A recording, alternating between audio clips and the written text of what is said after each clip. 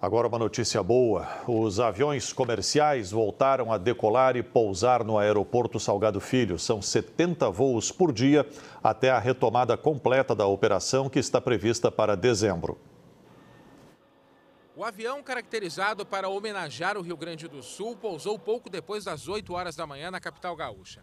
A tripulação balançou a bandeira do estado na janela da cabine. O voo veio de Campinas com pilotos e comissários gaúchos aos nossos irmãos gaúchos os nossos cumprimentos pelo exemplo e força, a reconstrução do seu belíssimo estado. No terminal de passageiros do aeroporto Salgado Filho, uma recepção calorosa. Bandinha alemã de Nova Petrópolis, personagens dos parques temáticos da Serra e músicas natalinas com artistas do Natal Luz de Gramado.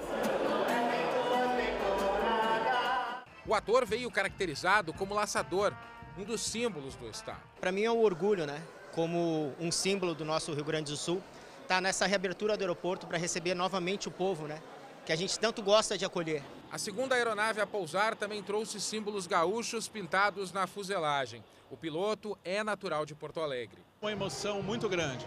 Isso significa para nós um início, uma retomada, mas principalmente ainda uma reconstrução que a gente tem pela frente em todos os sentidos. Inicialmente são 70 voos diários e aproximadamente 9 mil passageiros. A expectativa é que no início de novembro, cerca de 16 mil pessoas partam ou cheguem aqui pelo Salgado Filho. A retomada do aeroporto é fundamental para a recuperação da economia gaúcha impactada pelas enchentes.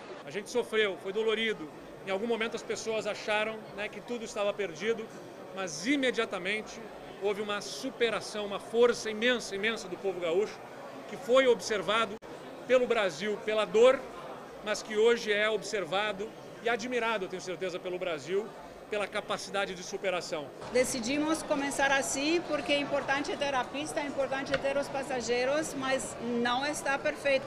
Ainda falta recuperar mais de um quilômetro da pista e restabelecer completamente as subestações de energia, o que deve ocorrer em dezembro. Os turistas já começaram a chegar pelo Salgado Filho.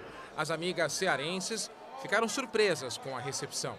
Nunca cheguei no aeroporto desse jeito. A gente ficou tão feliz, a gente está assim admirada. A família da Paraíba veio passar férias em Gramado. A gente ficou até surpreso aqui com a recepção, bem calorosa. Muito feliz, muito bom, tudo de bom.